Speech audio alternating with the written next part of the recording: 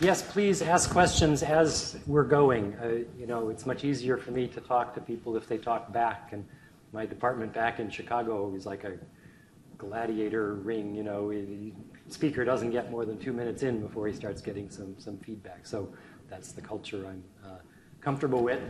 Um, so the uh, Arctic is kind of a special place in Earth's climate. Uh, it doesn't get the same climate change as you get sort of every place else. And I will kind of tell you about that aspect in sort of broad brush as sort of background.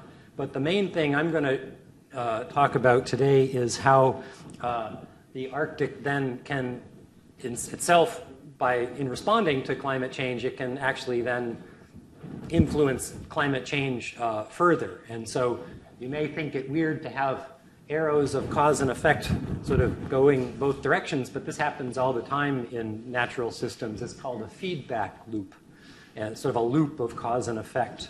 And in this case, um, what I'm talking about is uh, uh, the Arctic can potentially release greenhouse gases, which could uh, then amplify the initial climate change. So there are positive feedbacks and there are negative feedbacks, and this has the potential to be a positive feedback. So um, to start with, um, sort of putting the Arctic into the context of global climate change, uh, there is this phenomenon known as uh, polar amplification of, uh, of, of, warming. And it has uh, mostly to do with another positive feedback called uh, the ice albedo feedback, which I'll show you in a second. But this is a map of uh, temperature changes. This is actually made using this online widget that I wrote for teaching my classes. Uh, uh I have a Coursera class actually with thousands of people who use these. So what I made here is a map of the temperature from a particular climate model in the year 20, 2099 subtracting from that the temperature in the year 2000. So we're getting the temperature changes. And what you see is there's all these angry red things in the high latitudes where the temperature change was most extreme at the end of this uh, climate run simulation. And this is a very general feature. All the models do this. And in fact, if you look at temperature changes, you know, today versus, you know, 15, 20 years ago, you see the same sort of pattern that there has been much stronger warming in the Arctic than, than any place else. The Antarctic, I have to tell you, is a bit of a special case because you have uh, changes in the, the polar vortex air that sort of flows around here caused by potentially uh, changes in ozone down there. It's kind of not clear why uh, the Southern Ocean is not giving as much uh, polar amplification as this model is doing. At, what you see today, mostly the polar amplification is a, a northern phenomenon. So the ice albedo feedback uh, is another positive feedback. If you have some perturbation to the temperature, like you warm it up, and then you uh, that makes ice melt. The ice, when it existed, is, was very reflective of sunlight. Sunlight that hits ice or snow can bounce back to space and uh, if it does that, it doesn't actually deposit its energy in the Earth system. It just kind of bounces like a mirror. It's kind of like, you know, when you pay taxes before you get your paycheck. This is like the taxes. You don't see it in the, the heat budget. And so uh, the, you, you warm it up, and, and that melts some, some ice, which then causes more sunlight to be absorbed, which amplifies that warming. So this is again another positive feedback, and it's mostly you know, operative where there's ice and snow. So the high latitudes. This doesn't really affect Brazil all that much, right? Did, did you someone have a question? No. Yeah, Greenland. Uh, well, yeah. So uh, I guess in I don't think that they actually have interactive responding ice sheets in these climate models because ice sheets generally take thousands of years to respond. We sort of hope they take thousands of years to respond. It could be, there's various observations that the real Greenland ice sheet is, is responding more energetically Greenland to. is a mouse, just like Antarctica. So is there a similarity then between? Well, it's an ice. It's a big, big ice sheet, but but Antarctica is. Water. Pardon me. It's not water. It's not water. so Greenland is a mouse, just like Antarctica. True, yes, yes, yes, So absolutely. Well, there's similarity in that they're both covered with enough ice that the ice is not actually melting in this model on the ice sheets in this amount of time. The sea ice and the snow on the land, you know, the thin layers of ice that can respond more quickly, those are actually responding in this model. Uh, but uh, so Antarctica is special in that it's sitting on the pole, and so that has special that that that uh, induces sort of special atmospheric circulations. Greenland is not on the pole; it's uh, um, So the short answer is no. to the question, which was Well, just are they similar just because they're masses? well, they're similar in that they're both big enough things of ice that they haven't melted in the simulation.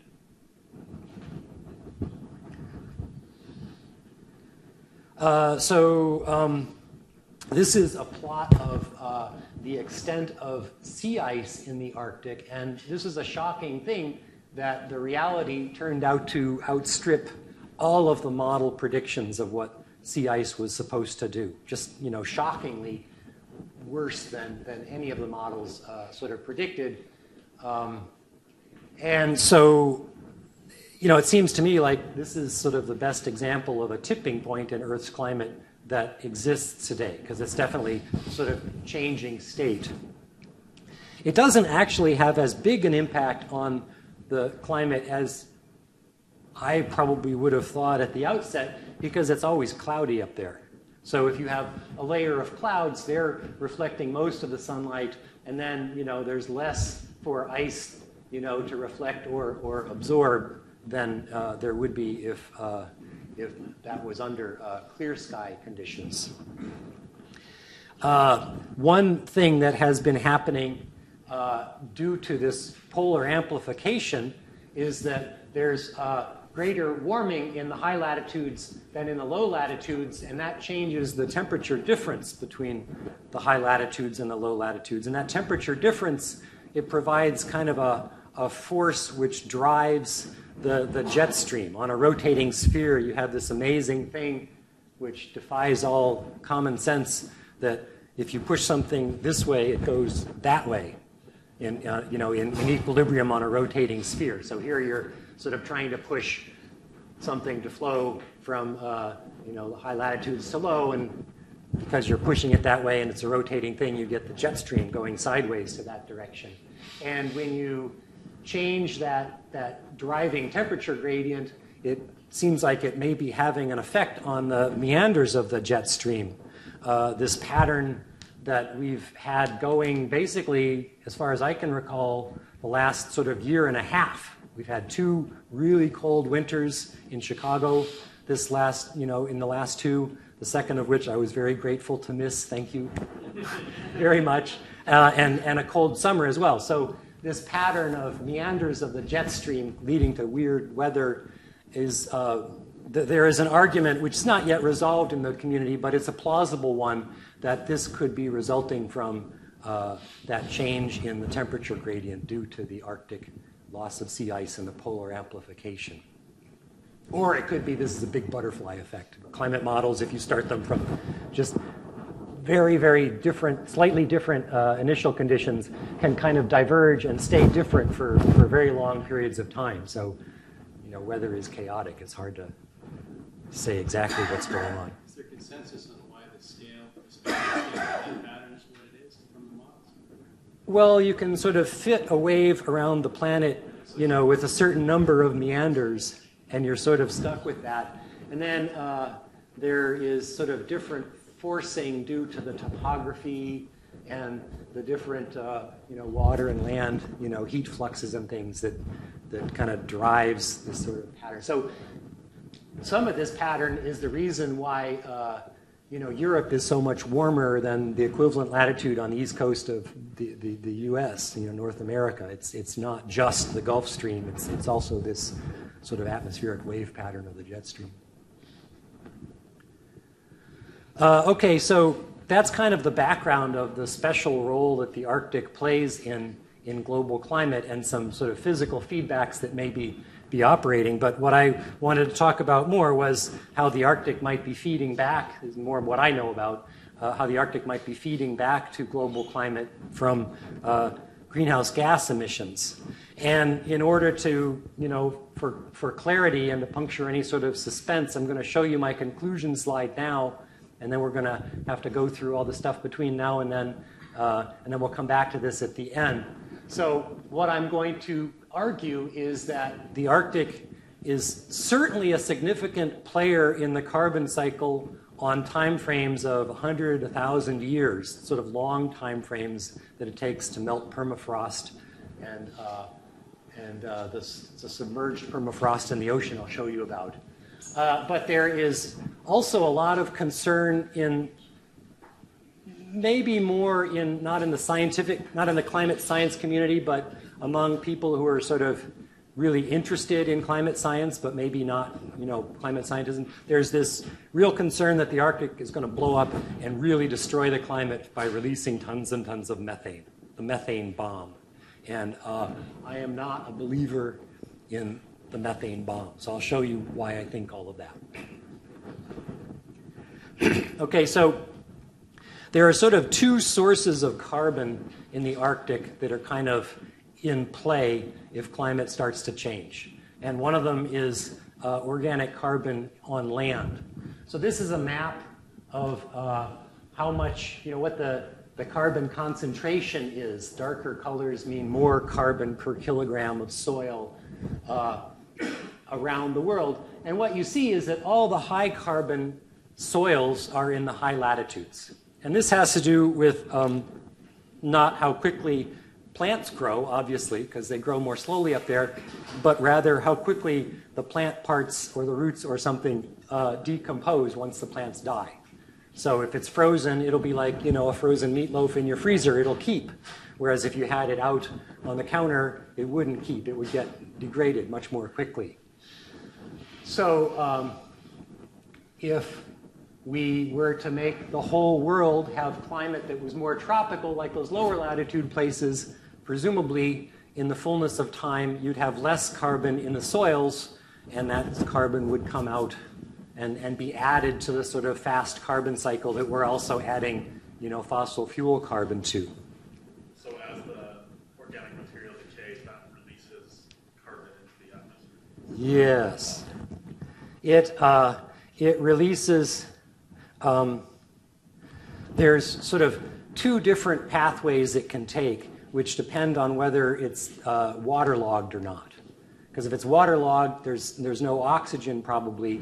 So if there's no oxygen, you tend to sort of make some CO2 and some methane. So one carbon is getting all the oxidized, you know, the oxygens, the other one's getting, so it's like disproportionating the, the carbon is what they would call it chemically. Uh, and then if it's aerobic, you just oxidize it with oxygen and make all CO2. So you know, the methane versus CO2 fluxes from some tundra site, you know, may be a function of the time of year because, you know, the water table fluctuation. So um, there's, uh, if this is the soil column, and there's permafrost, which is uh, frozen for some length of time is the definition of permafrost, frozen year round, reaching down to some depth, there may be a uh, a zone at the top of that, maybe you know a meter-ish kind of thickness, uh, which melts in the summer and then refreezes in the winter. That's called the active zone. And so as the, the temperature changes, the active zone can get thicker and, and release more carbon that was frozen to then undergo those chemical reactions and, and react. But another way that happens in the high latitudes, it seems like it's more important is when you have bodies of water around the, the edges of uh, lakes and rivers and, and the coast. So, uh, this is my really lousy rendition of what a lake might look like. And underneath the lake, because the water in the lake is not frozen, in the fullness of time, you would expect to have no permafrost. You know, this would thaw down below there because as you go down into the earth, the temperatures get warmer because you have heat coming out of the earth. So you have this thing underneath a lake called a thaw bulb. And uh, all around the periphery there, where you have uh, thawed sediment in contact with the permafrost and it's underwater, is a really great place to, to make methane. So uh, there's this uh, researcher in Alaska named, let's see, yeah, Katey Walter Anthony. And uh, she, she does research on this. Let me just, students all love this movie. So uh, I don't know what she's saying here. This is just a second. All right. So you puncture a little hole in the ice and then light a match and get this huge fireball, and you know everybody loves that. So you know, if you don't remember the rest of my talk in a week, you'll probably remember this. So that's good. That's science. I just love that. All right. So. Uh, wait. Methane gas, yeah, and then you combine it with oxygen and it burns.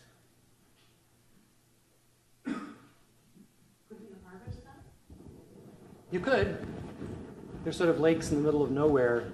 I don't know that there's that much methane, but so she goes around and, and tries to quantify how much is coming out by shoveling the snow off and measuring the bubbles under the ice. And, you know, it's enough to measure, it's not really enough to capture, but she gets a whole lot right around the ring of the lake. So if you were to put down a sampler kind of at random on the lake, you wouldn't, you would, you would undersample because there's this sort of hot spot of this ring.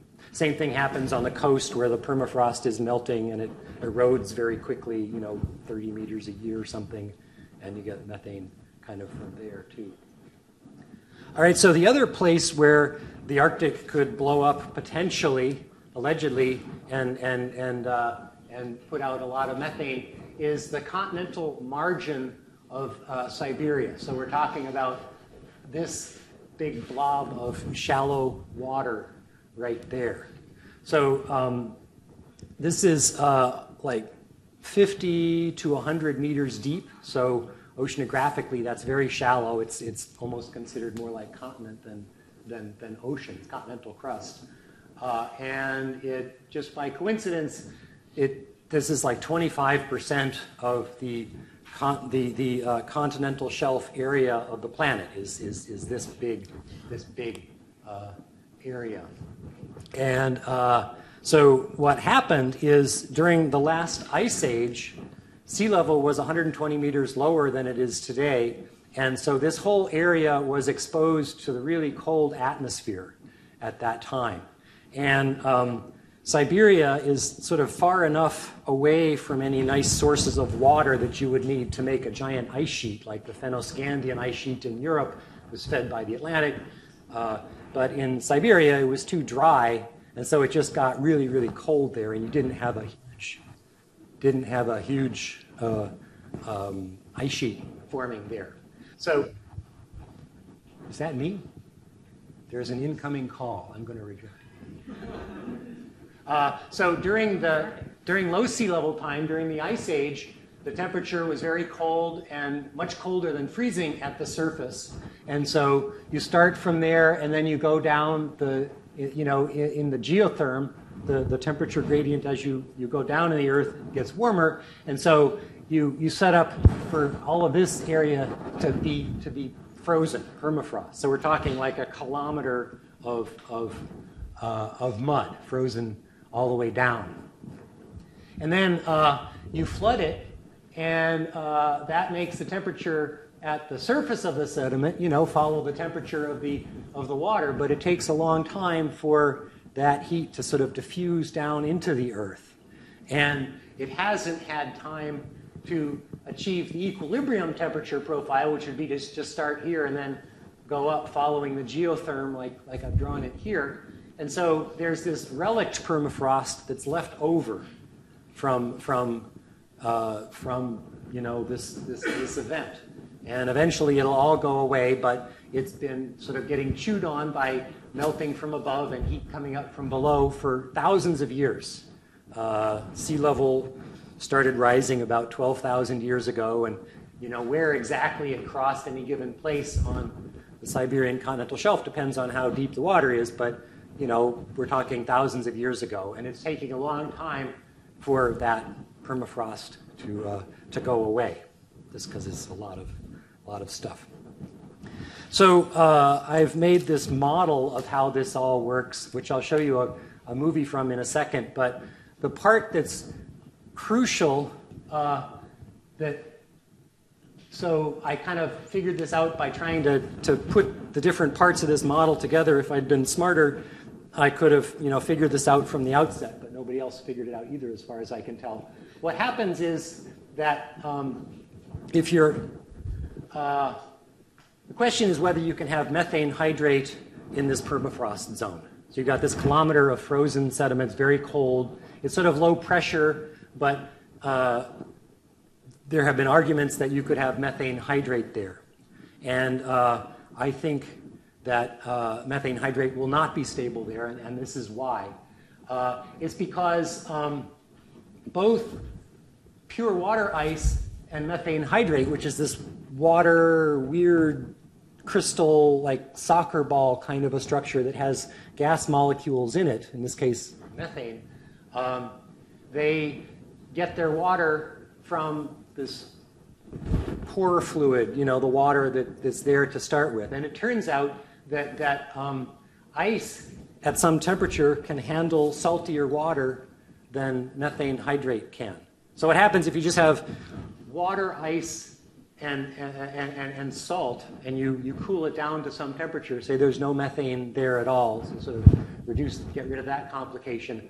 What happens is the water goes into the ice, and the the, um, the pore fluid that's left behind gets saltier and saltier until finally the freezing point depression from all that salt in the ice is enough to make to, to match the local temperature.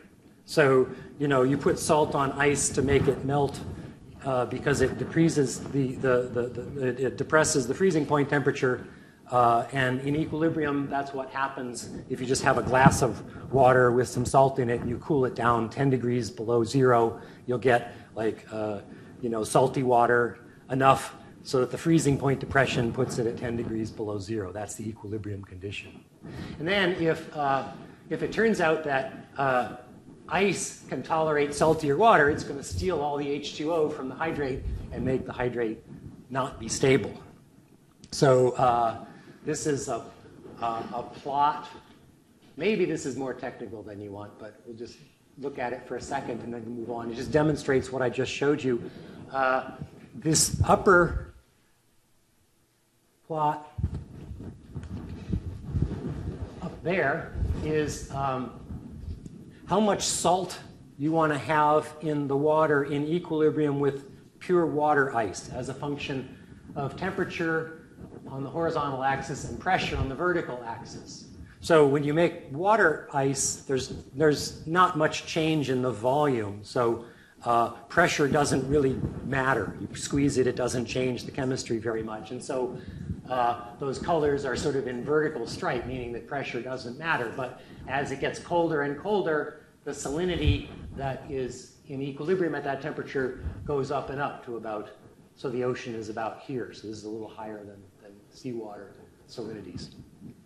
Okay, the middle one is the same thing for methane hydrate, but in this case, when you melt the hydrate, it makes bubbles of methane gas. And gas is uh, compressible. So if you put that under greater pressure, it uh, sort of shoves more methane into the chemical system and it, uh, it changes you know, the stability of everything. So you get this sort of pressure effect, but otherwise it sort of looks the same way. And then if you put the, you ask which, you take the, the salinity that's higher, whichever one of those wants the highest salinity, that's, that's this, this uh, plot on the right.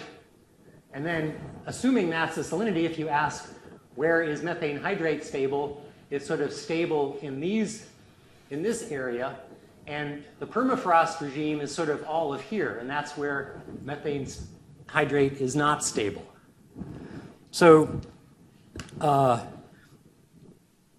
the equilibrium condition tells you a lot about sort of what the world should be, but the world doesn't always uh, reach equilibrium. Like in the atmosphere, if air is rising and it's very clean, it may get much colder so that the water vapor that's there really in equilibrium would prefer to be ice, but maybe if it's too clean, there may not be a nucleation site to make ice. So that would lead to a sort of a disequilibrium. But in this case, say you had some methane hydrate in this permafrost zone, uh, as long as you can make regular ice, which you can always make regular ice, you know, you put a, a, a thing of ice cube, ice cube tray in the freezer, it doesn't just get stuck for months on end or years or something because there's no nucleation site. It makes ice pretty easily. In that case, the hydrate is going to just decompose and melt. And there's no sort of a transport mechanism that puts hydrate into that zone. If it's not stable, it just won't form and won't be there. So um, uh, the conclusion is if it's not going to be in this permafrost zone, if it's got to be below half a kilometer or a kilometer of sediment, there's no way that warming at the surface is going to make it suddenly blow up because it takes a long time for heat to get down there. In general, the time constant for melting the permafrost on land is a couple of centuries. The time constant for melting this submarine permafrost in the ocean is like a thousand years or something. So, you know, I definitely see all of this in play on the long time scale, but not, not suddenly. So let's see, here is a movie that shows uh, so sea level is there, it's, it's rising and falling. The uh, black contours on this side are the, the, the ice fraction. So how much of the water there has frozen into ice. And so where you see those black contours, that's the permafrost zone. And then the red contour here that keeps popping in and out is uh, where methane hydrate is stable. And so you see it never encroaches up toward the sediment surface, it kind of gets capped by this, this layer of permafrost here. On this side, I did a sort of altered reality kind of thing where uh, water can't form pure water ice. So if you uh, let the salinity stay sort of unperturbed because the water ice doesn't steal it, you see the methane hydrate zone gets really close to the sediment surface. And in that case, conceivably, uh, the thing could sort of blow if, if you suddenly started to warm it. But uh, that's not the world that I think we live in. I think we're over here. All right, so um, anyway, the Arctic is kind of a really tiny fraction of the global atmospheric methane budget. Methane is released to the atmosphere from all different places, mostly from tropical wetlands and from rice farming and fermenting, uh, you know, and ruminant animals and things like that. And it goes to the atmosphere where it's sort of well mixed, and then it, you know, slowly decomposes over sort of 10 years or so.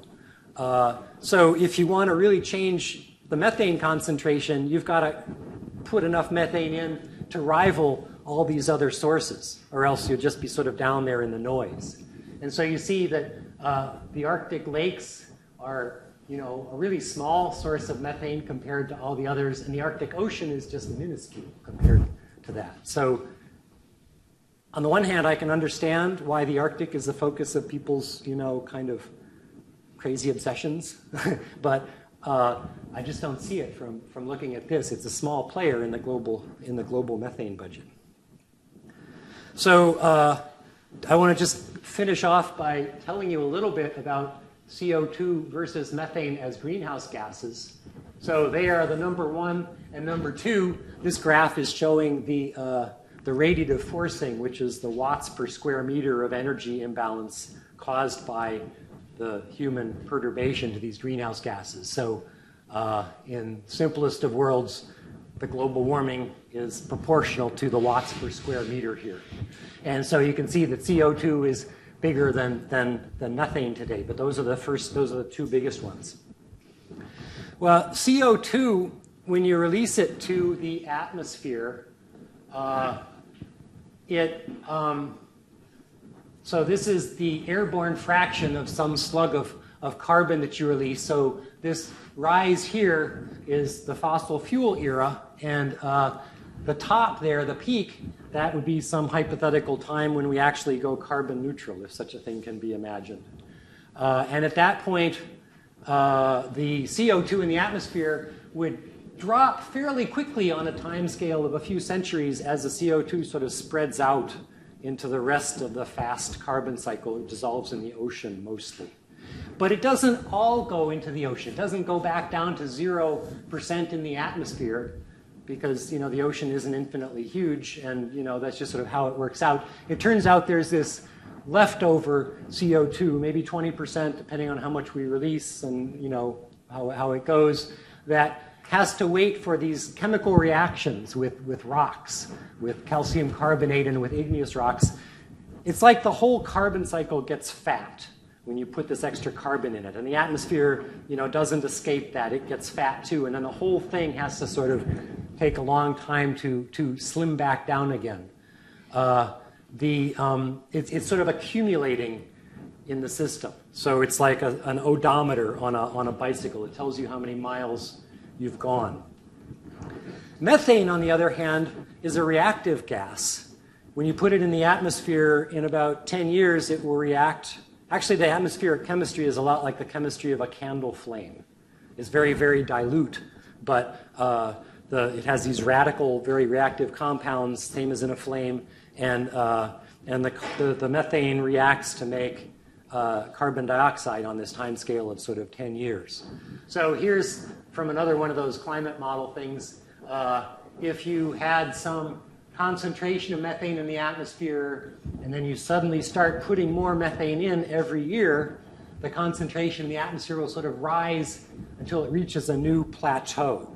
So the methane is acting more like a speedometer on that bicycle than an odometer. If you want it to go higher, you've got to pedal faster, and if you stop pedaling, it'll drop within sort of 10 years or so to a new level that's appropriate to how fast you're, you're, you're releasing it. So this is what methane in the atmosphere has actually been doing. There's this long period for 10 years or so when it wasn't even rising at all, which is kind of a, a mystery. But uh, in general, it's kind of you know settling into sort of a new plateau. It looks like it's accelerating, but it doesn't accelerate as much because it's like a speedometer, like I said. The CO2 would actually be you know inflected up. Methane is sort of that way. So. Uh, yeah, CO2 is, is like an odometer, methane is like a speedometer. They, they, they, they act differently. So, this is a figure that projects how much global warming we can expect through time given various things that we might choose to do or not to do. So, the, the green one here is uh, the reference that's business as usual that's you know burning fossil fuels and taking no measures to cut either CO2 or methane emissions.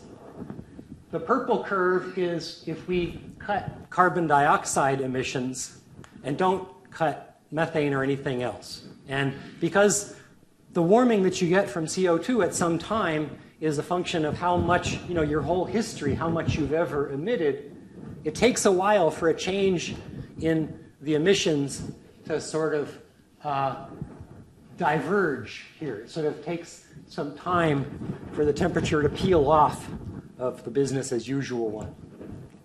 And then uh, down here, this uh, blue curve, they leave CO2 alone and they cut uh, methane and, and black carbon, which is another fast acting climate uh, forcing. And what you see is that it makes a difference fairly quickly, but it, then it sort of parallels the green line because you sort of shave some, you know, some temperature, some, some, some warming off the top. And then the conclusion that you're supposed to reach by looking at this figure, which is why they, you know, wrote the paper and all, is that if we want to avoid a warming of 2 degrees C, which is something that they're talking, it's a benchmark they're talking about the, the, for the climate uh, negotiations uh, it's not a danger limit, you know, because 1.9 is not safe. I have a feeling that by the time we get close to 2 degrees C, we'll, we'll think it's pretty insane that we ever thought that was a target to shoot for. But um, such as it is, that's the, the, benchmark that people are talking about. And uh, if you don't cut methane and black carbon as well as CO2, we're going to go past that, that thing. So that's a real conclusion, and I have no trouble with it. But after a long period of sort of looking at this plot and thinking about it, I actually come to a completely opposite conclusion by thinking about the lifetime of methane. So here is now, and then here is global warming. You know, when you start to really, you know, the, the, the it's starting to hit the fan here. It's, we're not there yet. We just sort of see that it's happening, but you know what we're worried about is 2050-ish kinds of, you know, what happens in the fullness of a few decades. So methane, there's the lifetime of methane, about 10 or 12 years, indicated by the length of that arrow up there. So the methane that we release today has no impact on the temperature when we're sort of worrying about it with, with, with global warming. It, you know, would change the temperature a little bit here, but this is nothing. This is not the problem. And yet, all over the place uh, in, you know, trying to figure out the uh, climate impacts of agriculture or fracking or something like that, they take these as sort of, uh, you know, maybe if we cut methane, that'll buy us time to deal with CO2 later because dealing with CO2 is harder. And, you know, the methane release today, I don't worry about it. I worry about the CO2 today. So I see it as uh, if we were to cut CO2 now, that would buy us time to deal with methane later. Yeah. It does. It does, absolutely, yes. And so I would count it as carbons coming out. A methane carbon is just as damaging as a CO2 carbon. It's not free like I was sort of suggesting and you just called me on, but, but as, you know, just counting atoms of carbon is the way that makes sense to both of us. So in many ways, those people saying we should try and cut off this methane now and be able to use CO2 later, in many ways, you kind of want to release the methane earlier rather than later. Hmm. If you're assuming you're going to release it at all. Yeah, okay. That's probably true. That's probably, that's, I guess that, that, that, that might be true. Although I don't know, yeah. What was the statement? Sorry. That if we had a choice between emitting methane now and emitting it in 2040, we'd be much, or you know, 2050, we'd be much better off emitting it now. I don't know if there's, you know, such a trade-off of. But anyway, yeah, methane today I just don't view as, as any worse than just regular carbon. Increasing in terms of the total time humans are forcing climate, we're getting closer and closer and closer on this plot to an ocean overturn time. Um, if we force it on time scales close to an ocean overturn time, those curves keep going monotonically upward.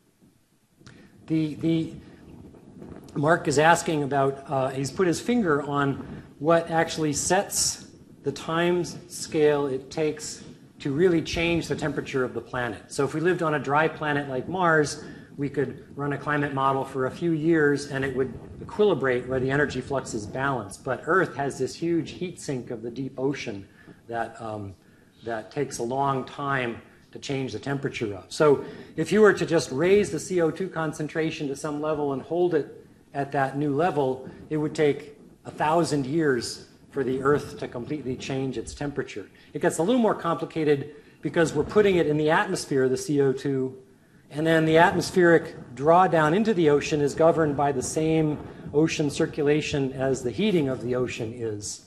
So uh, you get this weird result, actually, that um, the temperature kind of reaches this new plateau and sort of stays there for a very long time.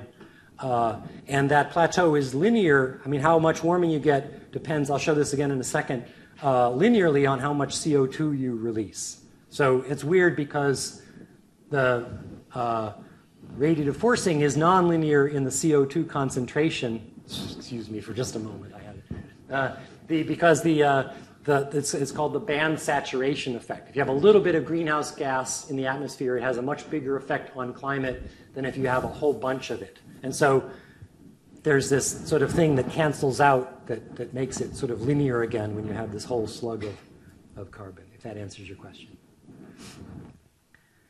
Uh, anyway, so the conclusions from that last uh, slide are that, you know, global warming, as far as I'm concerned, is a 2050 thing. Methane release today will be gone by then. And uh, so it really doesn't account for much as far as I, as far as I can see. So this is a web page of people who are really concerned about the Arctic blowing up. It's called the Arctic Methane Emergency Group. They do not respond very positively to a scientist telling them something that bad can't happen.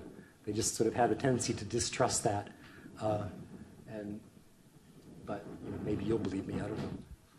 Uh, anyway, so to sort of sum up, um, I made a thing for a blog, which I wanted to show you. It, it was called uh, The Importance of Arctic Methane Hydrates to Global Warming in Five Pie Charts. And I was trying to be witty with pie charts here, which is probably a bad idea, but just show you them quickly and then we're done. Uh, the first two, the importance of methane in the climate system today. So here's how much the radiative forcing from CO2 and methane have changed over the last 30 years. And you know, CO2 is more than methane. That's not a surprise. That looks about like the uh, the radiative forcing plot I showed you a minute ago. But the impact of what we have released so far on the climate 30 years from now is almost entirely due to the CO2.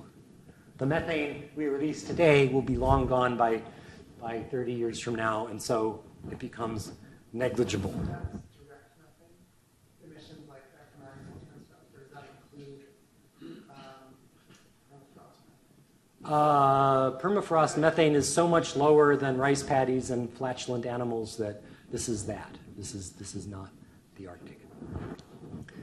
So the second, the, second set of pie charts, uh, the importance of Arctic ocean hydrates in the global methane cycle today. So that little sliver from the last here, this methane, we're going to blow that up now and see where that comes from. And you see that most of it doesn't come from the Arctic, it comes from everywhere else. The Arctic is sort of a small thing. And then you zoom in on the Arctic and you see that most of the emissions from the Arctic are from the fossil fuel industry. They're not natural methane fluxes at all. And what's left, there's far more coming from Katey Walter's lakes than there is from, from ocean hydrates. And so this tiny little sliver is what that Arctic methane emergency group people are, you know, concerned about. I just don't see it. However, on the long run, the Arctic is a significant player in the global carbon cycle because there's so much carbon up there. If you just give it enough time, you will uh, get a large response, and you can sort of see that these are different uh, carbon reservoirs on Earth, and the Arctic ones are here. And, and here, the Arctic is a respectable player. It's a big, it's you know more than its size worth of, of uh, carbon reservoirs. This is like thousand. Yeah, right, exactly. So, Is that all, is that the whole reservoir of those sources, or is that what we expect to see emitted to the atmosphere? this is how much is there in the earth. How much will come out is, is a really good question that will take further work to, uh, to, to answer.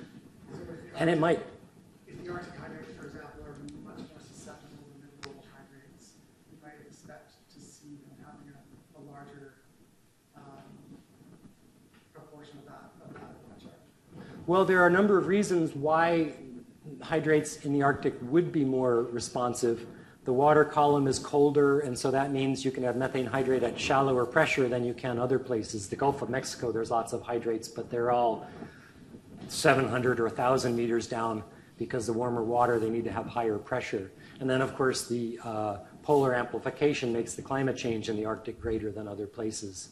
So, uh, uh, you know, there are reasons why it would come out faster there than the global average, yeah. So, um, a few last sort of public service announcement slides about the climate change issue in general that you may or may not have seen. Um, they, like I was talking about with Mark a second ago, uh, it's, it's sort of a, a linear relationship between how much CO2 you release and how much warming you're going to get.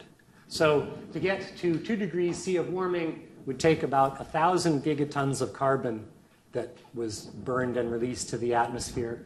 And we've already burned about half of that, 300, done about half, 300 from fossil fuels and about 200 from cutting down trees, mostly in the tropics. Uh, and so we're halfway there. And if we kind of forget about natural sources like the Arctic for a second, uh, we have the carbon emission rates, gigatons per year, business as usual is, is growing at, at, at 3% a year or something like that. Shame on us. But if we were to turn it around and start to do some amount of cuts every year, we could start to bring those fluxes down. And you can ask what the, the rate of cutting has to be so that we come in at 1,000 gigatons of carbon. And it turns out that the longer you wait, the faster you have to make the cuts. And you know, making 5% cuts in CO2 emissions per year or 10% or whatever, whatever the, you're trying to do every year is going to cost you money because you have to build, you know, power plants or put in insulation or, or, or something like that. So the sooner we start, the cheaper it will get. But then the discouraging thing is to think about these 1,000 gigaton carbon reservoirs uh, in the Arctic and, and, you know, within the context of how much carbon we can release and, and stay under two degrees C, it's, it's, uh, it's, it's kind of scary.